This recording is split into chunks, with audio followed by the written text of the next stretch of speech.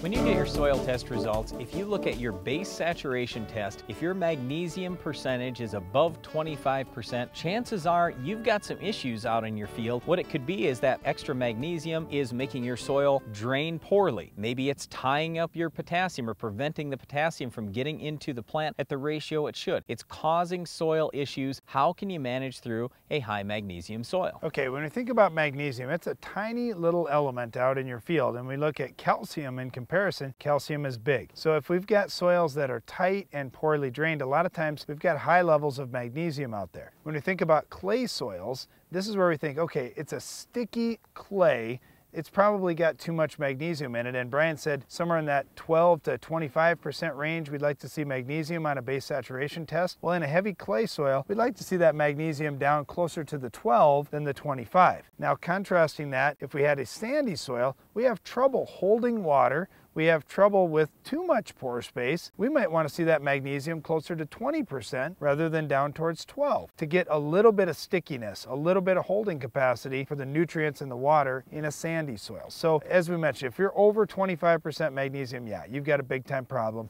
But on clay soils, you may even want to see that number lower. You may want to see it 12 or 15% rather than 20 to 25%. What it all comes back to, and Darren said it, calcium is a big molecule, magnesium is small. What we want in the soil is pore space. The reason why is we've got to have oxygen. If you don't have oxygen, then everything dies. Not just roots, but soil microbes as well. You've got to have oxygen there. So if we have more calcium, it just allows the roots to go deeper, it allows air to go deeper. It's a good thing. So how are we going to change that if we've got high magnesium? It just comes down to let's add more calcium out there. So in our operation, for example, we've had some really high magnesium soils, 40 to 50%, and we've flipped that ratio by putting a bunch of lime out there, and it might take 20, 25 tons of lime. Certainly you can do that over a period of years, but I'm just trying to say it's going to take a bunch of lime. Once you do that, then you have more pore space there, you get more oxygen, you get more microbial activity, better breakdown of residue, just a lot of things start happening and over time we get better overall biological activity in that soil. All right, now with that calcium, I like that you said lime, Brian, because if we're below 60% on a base saturation test for calcium, lime is where we want to start to try and build those levels back up. Once we're past that, we've got a lot of guys that want to use gypsum, and I love gypsum. It's a great product. That's where it's going to be effective. When you get calcium percentages up to 60 or so, then you can start using that calcium sulfate. Now the magnesium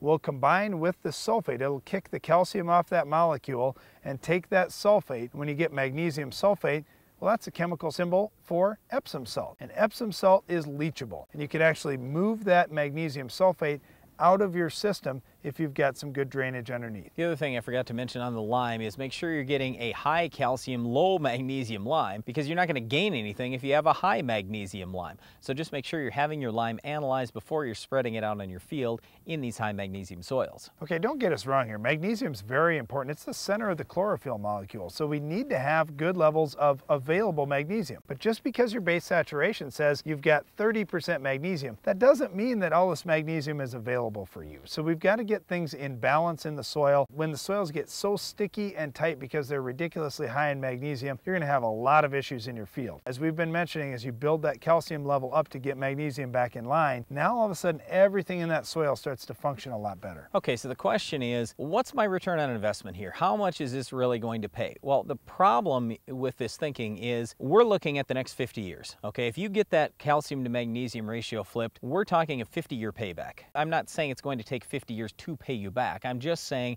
you're going to see benefits for 50 years, maybe 100 years, as long as you maintain where you're at. So yes, there's going to be some investment. Like for us, it's pretty inexpensive because we're getting lime for maybe $6 a ton. It's water treatment lime, good quality lime. $6 a ton is no big deal. I don't have any issue throwing even 25 tons out there. It only cost me 150 bucks. Who cares? Okay, so if you've got high priced lime, then you really have to start taking a look at this. And our suggestion is just run some trials on your own farm and then you'll see. But if you don't think that uh, you can flip this ratio, you absolutely can. We've taken some soils and done it on our farm in just a, a, matter of a few years, and we could do it in even one year if we chose to invest all that money in one shot, one time. If you've got a soil that's very sticky and tight, chances are you've got too much magnesium. Your soil yep. is out of balance. Take a good soil sample and make sure that you have a base saturation test run. Don't just look at parts per million of magnesium, but look at the base saturation. It's the ratio of some positively charged nutrients, and it's going to look at what percentage of the holding sites in that soil are occupied by magnesium. If it's more than 25%, you've got some big time issues in your soil that need to be addressed. Yeah, and one of those things is compaction. We didn't really mention that, but you know, if you've got poorly drained soils, you're going to have more compaction. You're just going to have a lot of issues with all that magnesium. You've got to get that fixed over a period of time if you want maximum yield, maximum profitability on your farm. Another thing that's going to give you maximum profitability is if you control our weed of the week. We'll tell you how to stop it on your farm coming up later in the show.